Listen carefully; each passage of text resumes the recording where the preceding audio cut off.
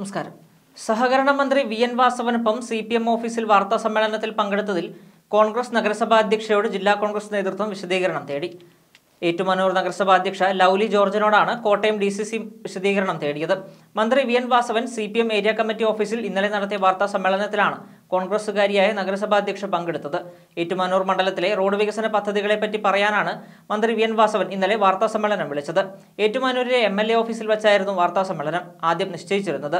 എന്നാൽ സ്ഥലപരിമിതി മൂലം അവസാന നിമിഷം വാർത്താസമ്മേളനം തൊട്ടടുത്ത C P M area committee ഓഫീസിലേക്ക് മാറ്റുകയായിരുന്നു.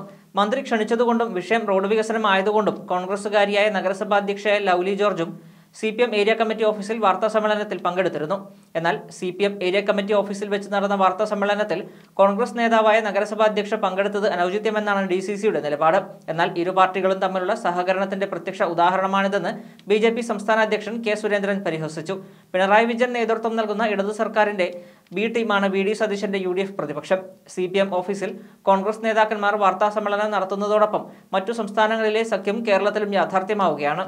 രണ്ടായിരത്തി ഇരുപത്തിനാലിലെ പൊതു തെരഞ്ഞെടുപ്പിൽ വരാൻ പോകുന്ന അവിശുദ്ധ സഖ്യത്തിന്റെ ട്രയലാണ് കോട്ടയത്ത് കണ്ടത്. ഇരുമുന്നണികളുമായി നിന്ന് പരസ്പരം മത്സരിച്ച് ജനങ്ങളുടെ കണ്ണിൽ പൊടിയിടാതെ ഒരുമിച്ച് മത്സരിക്കാൻ കോൺഗ്രസും സി തയ്യാറാവണം.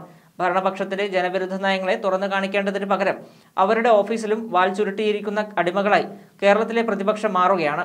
ഭരണപക്ഷം നടത്തുന്ന അഴിമതിയിൽ ഒരു പങ്ക് കിട്ടിയാൽ എന്തിനും കൂട്ടുനിൽക്കുന്ന പ്രതിപക്ഷമാണ് കേരളത്തിലുള്ളത്. പരസ്പര സഹകരണ മുന്നണികളുടെ പരസ്യമായ ഐക്യപ്പെടലിന്റെ ഉദാഹരണമാണ് കോട്ടയത്ത് നടന്നതെന്നും സുരേന്ദ്രൻ പരിഹസിച്ചു. എന്നാൽ സംഭവം വിവാദമാകേണ്ടതില്ലെന്നും താൻ കോൺഗ്രസുകാരി തന്നെയാണെന്നുമാണ് ലൗലി ജോർജിന്റെ വിശദീകരണം. വികസന വിഷയങ്ങളിൽ രാഷ്ട്രീയം പാടില്ലെന്നാണ് വിഷയത്തിൽ വി എൻ വാസവന്റെ പ്രതികരണം.